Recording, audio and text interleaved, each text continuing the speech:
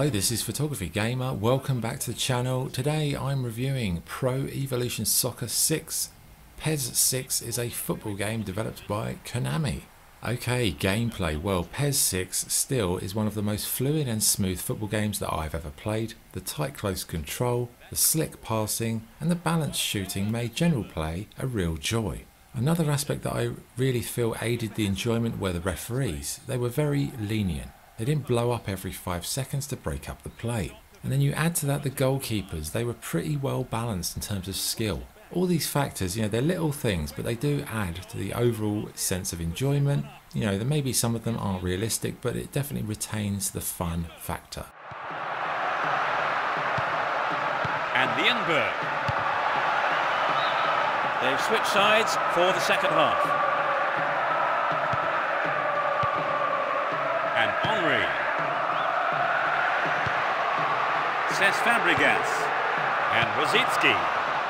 There's the shot. As with other PES games, edit mode was crucial, with a lot of this stuff being unofficial.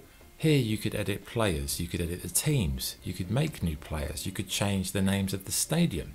But for me, edit mode had one highlight, and that was the boot creator, allowing you to choose boot parts and colour schemes to make the perfect football boot.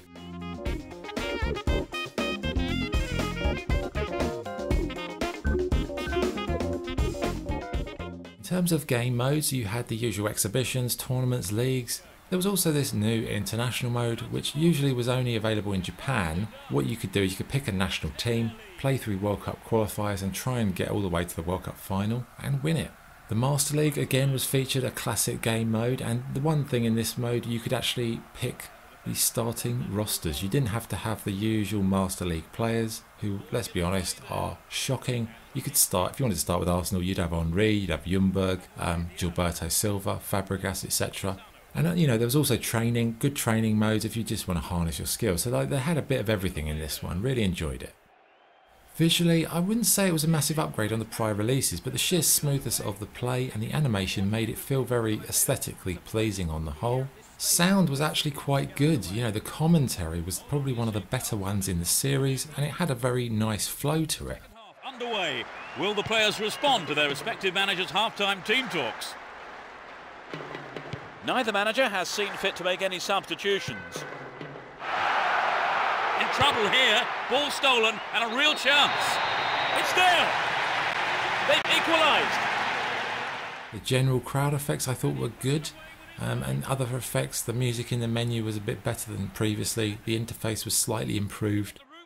Okay, good and bad points. What's good? The passing, close control and shooting all felt slick and well balanced. There's loads of game modes, Master League was still amazing, and the edit mode offers so much possibility. Bad points? The game's speed felt like it was a little bit slower, could have been more snappy, and the Master League menus and interface, I would say, were a bit overly complex. You know, it, it was a very awkward system in the Master League to just do anything. It wasn't laid out very nicely. Okay, verdict. With its wonderful close control, fluid passing, and balanced gameplay, Pro Evolution Soccer 6 was, and still is, one of the best games in the series. It had plenty of game modes to get stuck into and a fantastic edit mode for modders who still, to this very day, keep this version alive with yearly patches. For me, I wouldn't say it was the very best game in this series, but it's definitely in the top three. It's a class game, and if you still have it, go dust it off, give it a whirl, as it is a damn sight better than that eFootball rubbish that they've been peddling out. What is that about, by the way? Okay, scoring. Well, Pro Evo Soccer 6 I wrote down 9 out of 10 here, but if I look at the negatives, what are the negatives? There's only minimal negatives, really. So I'd give it a 9.5 actually. I changed my mind on that. 9.5 out of 10. One of the top three football games of all time. That's the review. Thanks for watching. This is PG signing off. Cheers.